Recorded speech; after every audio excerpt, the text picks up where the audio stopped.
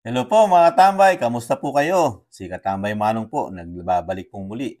At para po magkomento dito po sa Tambayang Makabayan, komento ni Kamanong. Ito po mga katambay, isa na naman pong nakakalungkot na balita ang uh, you know, nangyayari sa ating bayan. Sa kabila po na nalagpasan na po natin ang uh, trahedya ng uh, mundo na talaga nagbigay ng problema sa atin at napakalaing gastos ang uh, pandemya ng uh, COVID, COVID-19 talagang uh, you know, nagkautang-utang po ang ating gobyerno dahil para po maisalba ang ating mga buhay, mga katambay. Pero sa kabila nun, walang malaking uh, trahedya ang ating bansa, pero baon at lalong lumobo po ang uh, utang ng ating bansa.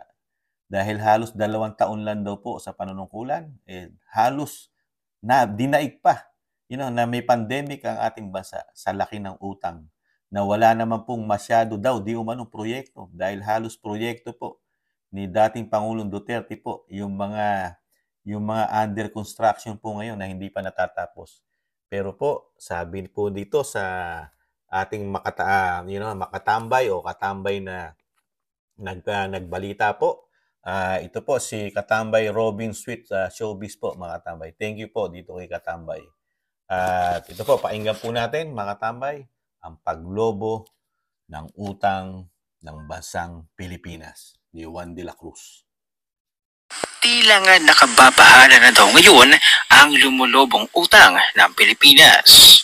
Ang tanong ng mga netizens, may balak bang sabihin ng kasalukuyang administrasyon ang utang ng Pilipinas na umabot na sa 14.93 trilyon na tila lumalabas na mahigit 2 trillion pesos ang nadagdag dito simula ng malungkulan si PBBM. Sa loob nga daw ng dalawang taon ay mahigit 2 trillion pesos ang pagkakautang ng Pilipinas. Ayon sa post ni Jay Sonza, may balak bang magsabi sa atin si Pangulong Bongbong Marcos na umabot na sa 14.93 trilyon ang utang ng ating bansa? Nangangahulugan ito na sa loob lamang ng halos dalawang taon niyang panunungkulan, nadagdagan ito ng halos 2.14 trilyon. Hindi rin sinasabi sa atin ni Apo Bonget na tayo, ang taong bayan, ang pumapasan sa pagbabayad ng utang na ito. Malaki ang implikasyon nito sa pagpaparating serbisyo publiko, pagpapataw ng mga bago o dagdag na buwis at obligasyon sa pinagkautangan o bayarin sa utang panlabas. Naaalala ko lang, 12.79 trilyon lamang ito sa pagkatapos ng termino ni dating Pangulo Rodrigo Duterte. Samantala ay inaasahan naman pala itong lolobo pa sa pagkatapos ng 2024 at aabot pa ito ng 15.8 trilyon pesos. Ang pinagtataka ng mga netizens, saan napupunta ang inutang?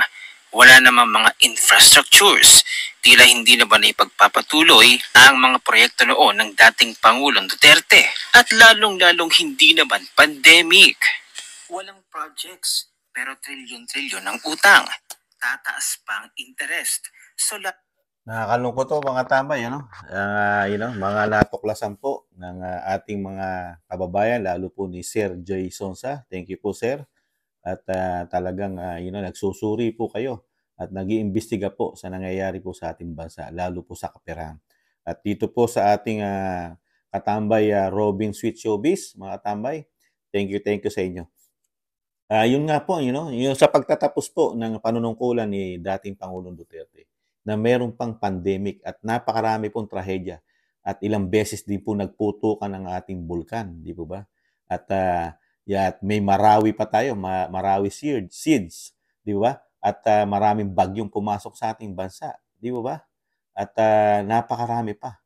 Pero hindi yung yung inutang ng Pangulong Duterte, nalaman nakita natin kung saan po nagamit yung mga sinasabi nga 12 point something you know trillion mga tambay na ganun kalaki po ang uh, you know ang uh, kay Pangulong Duterte ganun kalaki na po ang uh, utang ng bansa na nakita natin kung saan po nagamit ni dating Pangulong Duterte sa mga trahedya. Pati po yung uh, sinasabing hindi po natapos na Yolanda, yung mga Yolanda po na ngayon eh kinekredit na po ng iba at uh, sinasabing walang nagawa. ang uh, dating Pangulong Duterte, kasama na si Pinoy, ang dating Pangulong Pinoy, na talaga itinuloy at talaga pinaganda pa ni dating Pangulong Duterte, ang Tacloban, ang Leyte, na halos sa 85% di umano ang natapos doon at 15% na lang ang gagawin. Pero walang credit yung gumawa ng 85% na si dating Pangulong Duterte.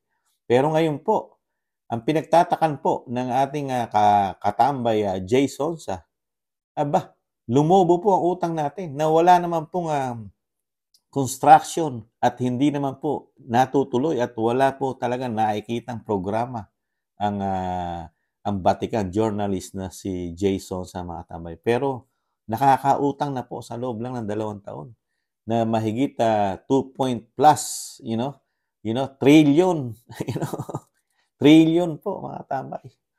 Ang uh, lumobong utang po, naging 14 plus na po, 14 point plus, you know, trillion ang uh, naging utang na po. At lolobo pa rin dito mga katambay. According po kay uh, Jay Sonsa, pagpasok po ng bagong budget na naman ng ating bansa. Kasi matatapos na naman po ang budget ng 2024 at ito naman po, mangungutang na naman po ang ating uh, pamahalaan dahil gagawa na naman po ng budget ang Kamara at ang Malacanang, mga katambay. Kaya po. Pero nung uh, nagtataka lang si Kamanong, doon po sa mga vlogger, sa mga vlog po ng mga nakaraang uh, linggo, buwan, eh proud na proud po ang uh, mga vloggers at uh, mga media di umano na pinagmamalaki po nila na, binab na binabayaran daw po ang utang na ginawa ni dating Pangulong Duterte. Kung natatandaan niyo po, talagang uh, ginagawa po nilang malaking issue po yan na napakalaki daw po ng utang ng uh, ginawa ni dating Pangulong Duterte.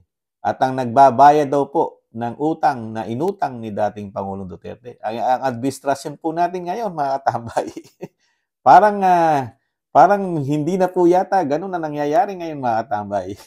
Paano makapagbabayad ng utang ni dating Pangulong Duterte kung ikaw mismo ay nangungutang ng napakalaki? ikaw mismo, dalawang taon pa lang, walang pandemya, you know, walang masyado pang problema ang bansa na talagang kailangan mangutang ang ating bansa. Pero nilulubog mo na, you know, sa utang ang bansa. Di paano kung wag naman sana na magkaroon tayo ng isa pang, wag na, wag naman sana. Wag na, wag naman sana. Di lalo tayo magkakaproblema, mga katambay. Na ito, walang masyadong programa. yung pangako nga po na housing na isang milyon, isang taon, di umano. Isang milyon ang pagagawang pabahay, isang taon. Dalawang taon na po, dalawang milyon po yun. Eh, wala na po tayong balita ro kung ilang milyon na po napapagawa ng ating pamahalaan. At yung sinasabi po ni Jay Sonsa at ng ating uh, makabayang vlogger na halos hindi tinutuloy yung mga naiwang proyekto raw di umano ng uh, dating Pangulong Duterte na dapat ay pakinabangan ng uh, taxpayer ng taong bayan. Yung mga proyekto na yun ay hindi rin daw po nalalagyan ng budget. Pero sa kabila nun, napakalaki po ng nautang ng ating pamahalaan sa administrasyon po natin ngayon na hindi po Ipinaliliwanag po ito at hindi po ibinabalita ito sa malalaking uh, mainstream media natin. At hindi rin po ito iniimbestigahan mga tambay. Kung totoo po itong uh, you know, itong uh, numero na ito, wala rin pong kiburi ito ang makabayang black mga tambay. At ang napaagaling pong senadora sa Kamara na lagi po nag-iimbestiga, si Senadora Risa Hontiveros mga tambay. Wala rin pong pag-iimbestiga kung bakit po tayo nagkakautang-utang ng ganito kalaki na wala naman tayong hinaharap na malaking problema ng bansa na sin- katulad ng pandemya na COVID-19 na talagang kailangan mo maglabas at mangutang na mangutang dahil mismong ang taong bayan na magkakaubos sa bansa natin. Di ba? Kayo po mga tambay, ano po sa tingin niyo mga tambay? You know, may katotohanan po ba ang uh, natuklasan ng uh, batikang journalist na si Jason sa at nitong uh, ating katambay na si Robin uh, Sweet, you know, showbiz. Mga katambay. Talagang, uh, you know, tapos, meron pang issue yan, mga tambay. Yung sinasabi ni Atty. Harry Roque, mga tambay. Hindi lang po yung sobra sa utang. Sa kabila nun, yung pera daw po na binabayad ng miyembro ng taxpayer ng uh, PhilHealth eh, nakuha rin daw po, di umano, yung 90 billion na pondo ng tao. Tao ang nagbabayad nun. You know? Para po sa kanilang seguridad pag sila'y nagkasakit. Pero nakuha daw po. Nakuha yung 90 billion mga tambay. At wala na rin pong tayong balita doon sa napakalaking billion-billion na nilagay po sa Maharlika Fund. Ano na po kaya nangyari doon mga katambay? Tapos ito po, baon pa tayo sa utang. You know, nadagdagan pa ang utang natin ng napakalaking pera. You know, na 2 point plus, you know, trillion. mga tambay. At kilalaki nilang travel fund, you know, ang lalaking extraordinary fund, ang lalaking uh, confidential fund. Samantalang ang Vice President Sara Duterte, walang confidential fund. Kaya wala siyang magawa, you know. At limitado lang din ang kanyang pondo bilang Vice President, mga tambay.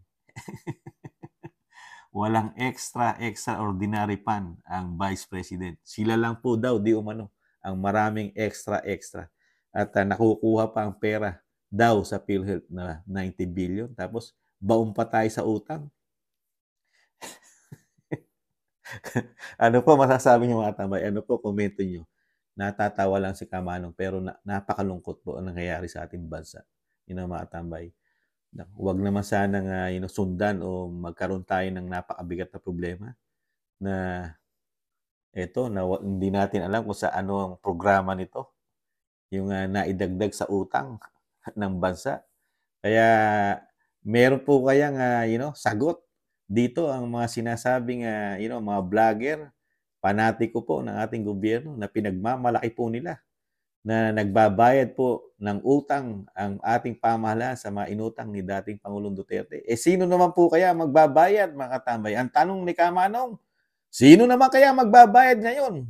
Ang tanong ni Kamanong sa mga vlogger na nagsasabi na ang ating pamahalaan ay nagbabayad sa utang ni dating Pangulong Duterte. Sino naman po kaya magbabayad po dito po sa inuutang po ngayon ni Pangulong Marcos Jr. Mga katamay, sino po? Yun po ang aking tanong sa kanila, mga tambay. Muli po, si Katambay Mano po, nagpapasalamat po dito po sa ating uh, napakalit na channel, Tambayang Makabayan, komento ni Kamano. Ingatan nawa mga katambay, tis-tis lang. Talagang ganun po. Hindi naging maganda ang ating sitwasyon. May pag-asa pa. Tis-tis lang. Paalam. Bye-bye.